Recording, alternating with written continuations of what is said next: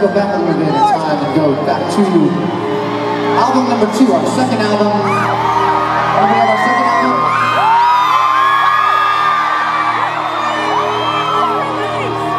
This is a, a song that we've always been fond of as a band.